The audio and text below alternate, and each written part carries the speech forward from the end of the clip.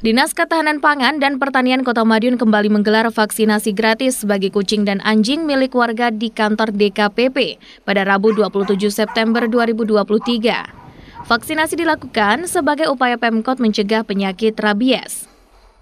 Kepala DKPP Kota Madiun, Toto Sugiarto mengatakan, saat ini Kota Madiun bebas rabies. Meski begitu, vaksinasi terus dilakukan rutin setiap tahun sebagai upaya pencegahan.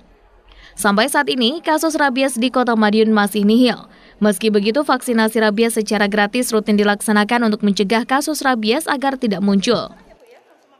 Pada hari ini, uh, sebagai tindak lanjut kegiatan beberapa waktu yang lalu, kita mengadakan vaksin untuk uh, hewan piaraan, anjing, kucing, ada tadi monyet.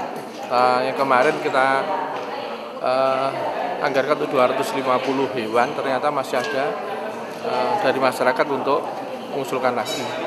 Alhamdulillah kemarin uh, dari pemerintah kota Pak Wali Dewan juga menyetujui untuk penambahan uh, vaksin lagi. Jadi kita di ini tambah 150 vaksin. Jadi target kita untuk tahun ini 400 400 hewan. Ya, harapan harapan kami dengan semakin banyaknya hewan yang sudah divaksinasi lebih me, me, mempunyai rasa aman bagi masyarakat baik yang e, pemasyarakat umum maupun yang pemilik itu harapan kami karena e, rabies itu juga penyakit yang sangat bahaya sehingga ini salah satu upaya dari Pak Wali dari pemerintah kota untuk ikut mengamankan masyarakat dan pemilik hewan piaraan. Warga pun antusias mengikut sertakan hewan piaraannya pada program vaksinasi rabies di kantor Dinas Ketahanan Pangan dan Pertanian Kota Madiun ini. Tiara, warga Kelurahan Winongo, memanfaatkan program gratis dari DKPP tersebut agar kucingnya terhindar dari penyakit. Ia mengaku setiap tahun ia rutin mengikuti program vaksinasi rabies gratis dari Pemkot Madiun.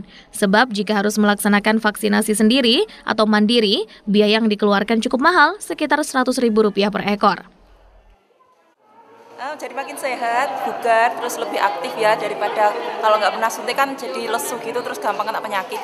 Ini alhamdulillah kok baik-baik saja, jadi ya sehat. Ada berapa yang dibawa? Dua ekor. Ada banyak, jumlahnya banyak. Di rumah sembilan, ya sembilan ekor.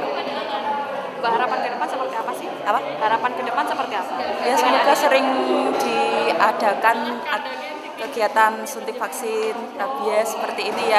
Alhamdulillah gratis jadi ya saya saya langsung apa kucing-kucing saya jadikan kesempatan untuk bisa ikut apa acara seperti ini dan semoga sering diadakan. Saya senang sekali.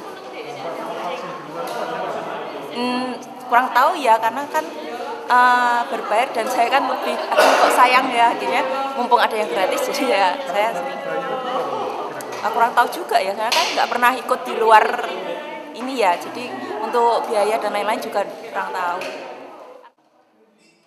Kegiatan rupa rutin dilaksanakan. Selain mencegah timbulnya penyakit rabies, juga dapat membantu masyarakat memiliki hewan piaraan.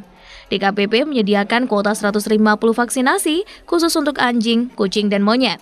Antusias warga mengikut sertakan hewan piaraan pada program vaksinasi ini pun cukup tinggi. Andi Hertana, Madiun, Sakti Devi.